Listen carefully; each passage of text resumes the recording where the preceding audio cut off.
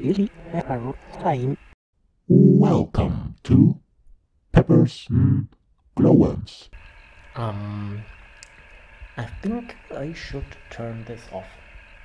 Wait a minute.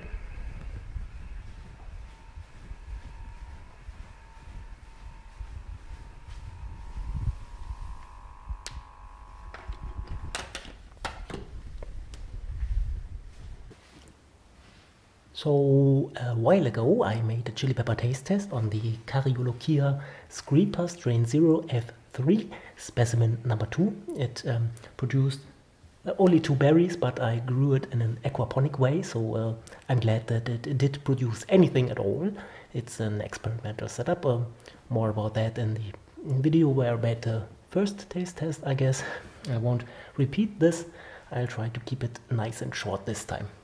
So this is the second berry right here, nice and small, which is nice because I want to breed a um,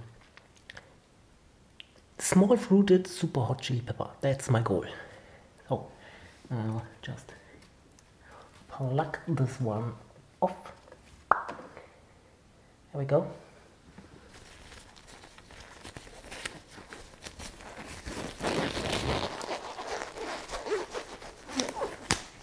Safety first.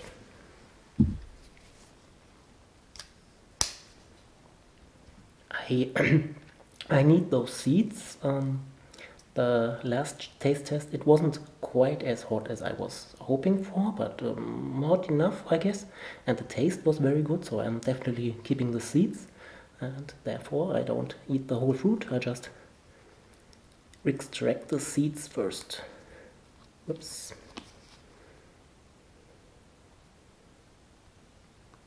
Now let's see what we have inside. Yeah, yeah, yeah, yeah. Oh, nice smell. Ooh, very nice. And lots of seeds, which is also nice. Yeah, that's more than in the last fruit. And good thing I put on some gloves. I think. Feels a bit juicy. Mm-hmm. Come on.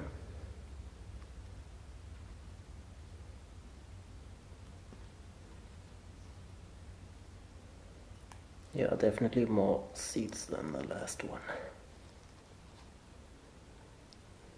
Still more.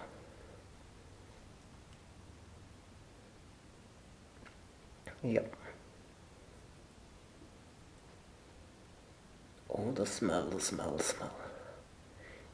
Nice and a bit terrifying. That smell. That's all.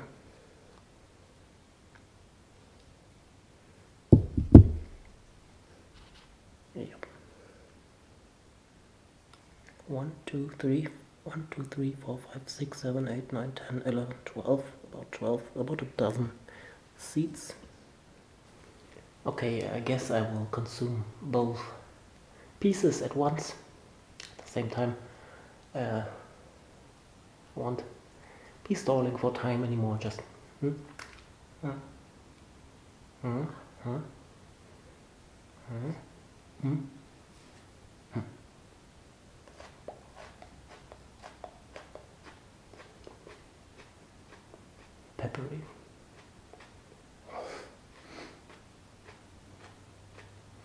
Not as juicy as I was thinking, but maybe um, I wasted some juice by extracting the seeds. Hmm. Acidic. Not not as sweet as the last one.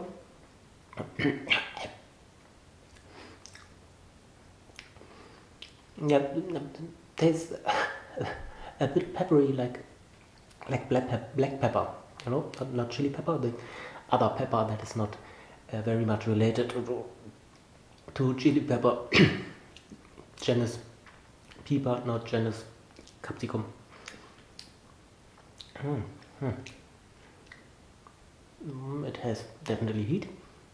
Mm, hmm. Yeah, I'd say about the same level as the other fruit of this specimen. Mm. Mm. Not as sweet as last time, but maybe that's because it was later in the season when that fruit ripened. But still, mm, mm. yeah, taste. I'd say mm, at least an 8 out of 10. Mm, yeah, 8 out of 10. And the heat? Well, it's firing up. But I guess the small fruit, the fruit size was very good for my uh, purposes. Um, mm, it doesn't feel as, as hot as if the berry would be, have been as big as a habanero, for example. No, um, I don't want to say 9 for the heat on the mouth, that feels too high, but definitely a, a very a very high 8. Mm, yeah. Mm. Very localized where I chewed it. No, that's that's nice, decent. Mm -hmm. uh, let's say heat 8.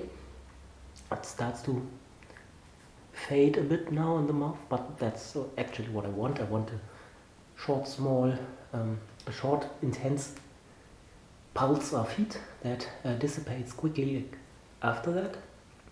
Not something where you have to fight with for the whole rest of the day.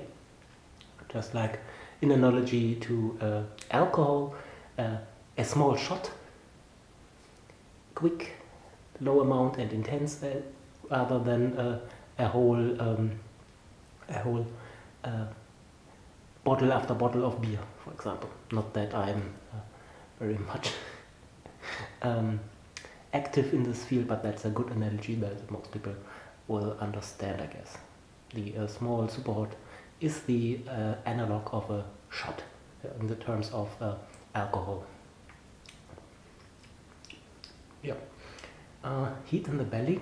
So far, I don't feel anything, but I have again eaten uh, enormous amounts of food, like kebab and uh, spaghetti carbonara. Uh, so fatty substances, creamy. That um, and I have some oats uh, that I will consume afterwards as a safety precaution. I didn't eat them before or some milk. Normally I don't uh, take milk to my oats, um, I just soak them in water, but uh, now um, I have a good excuse to use some milk. No, uh, it's fine in the belly, so um, I guess i have to say this time one or two. There is a little bit of heat right now. Maybe it will intensify and if it does I will make a little appendix but so far I have to say uh, one uh, not zero but one uh, heat in the mouth 8 taste 8 uh, heat in the belly. So far just one which is also nice. That's not a trait that I want to uh, uh, heighten. Intense heat in the mouth and no heat in the belly would be fine by me. But we shall see how that turns out. I'll keep those seats and um, well, as you can see from the arrangement here, um, there are some more uh, chili peppers. Yeah, and there, that's just my good luck chili pepper um, up there. Um, just for good luck, obviously. And uh, today or last night was the first night uh, where it was uh, a little bit uh, frosty, so I took those in. Um, and uh, nice thing is they uh, started late in the season I think um, this one uh, produced a noticeable amount of fruits. And um, this one uh, a little bit there's one at least one. And this one has so far no fruits produced. Um, the leaves look the best. And it actually are two plants just like there so I don't think here are any fruits but uh, I'll keep it inside regardless. But uh, for that one there's definitely hope that those fruits will ripen. Uh, still in winter and I will have uh, maybe a taste test at least for one or two other specimens of the um, Aji Chareapa F3, a cross between an Aji Ahicharapita and a Bhut Jolokia chocolate. Uh, third generation. I have already tried out a few of them, um, but not with the intended results. So I'm trying uh, multiple specimens for this generation. Still had some seeds left this year, and hopefully I will get some uh, still this year, or maybe in the beginning of next year. Uh, we shall see. Some of those fruits are almost ripened, I think. Yep, yep, yep. I'll give you some close-ups of the um,